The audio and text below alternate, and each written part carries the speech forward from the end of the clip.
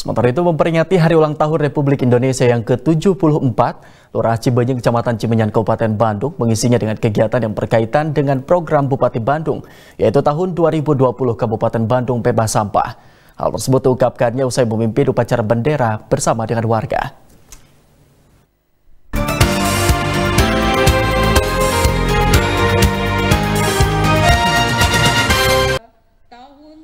Memperingati hari ulang tahun Republik Indonesia yang ke-74, warga Kelurahan Cibenying, Kecamatan Cimenyan, Kabupaten Bandung menggelar rangkaian kegiatan.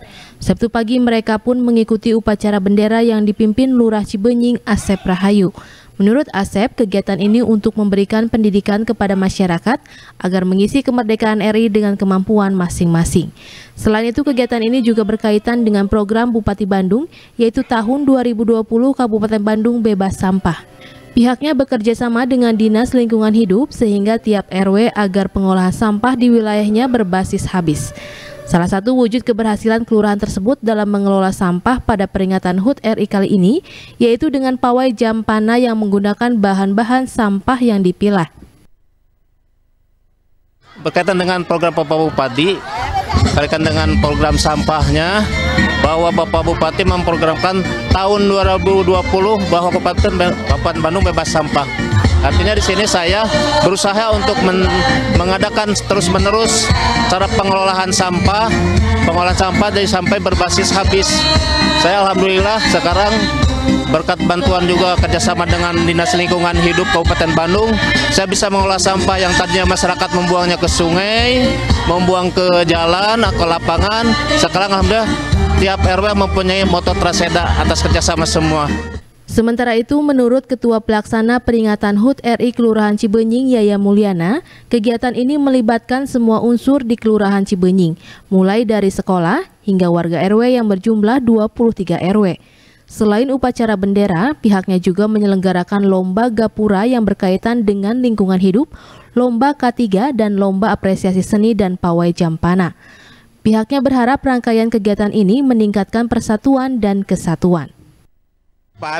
Mudah-mudahan yang terpenting justru momen seperti peringatan Hari Besar Nasional ini lebih-lebih di 17 Agustus ini tentunya adalah bagaimana mengikatkan tali persatuan dan kesatuan yang selama ini mungkin di beberapa wilayah ini mulai tergoda dengan disintegrasi dan lain segala macam. Maka kekompakan, keguyuban, sabilulungan dan seterusnya ini sesuai dengan moto Kabupaten Bandung gitu ya. Sarendek, saige, sabobot, sapihaneang gitu kan. Jadi artinya sama-sama. Semua ada unsur pemerintah, ada unsur masyarakat dan uh, unsur tentunya dunia usaha yang ada di wilayah Kelurahan Cibenying. Warga pun menyambut baik kegiatan dalam peringatan HUT RI tersebut. Menurut salah seorang warga, Purba, dirinya dan warga lainnya pun antusias mengikuti berbagai kegiatan walaupun dengan cara sederhana.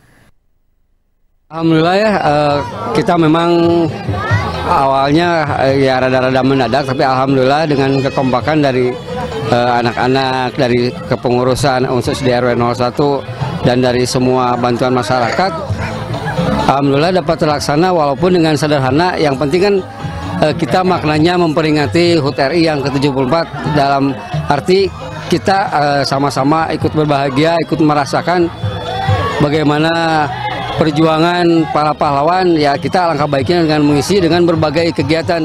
Lurah Cibenying pun berharap berbagai kegiatan untuk memperingati HUT RI tersebut dapat semakin meriah.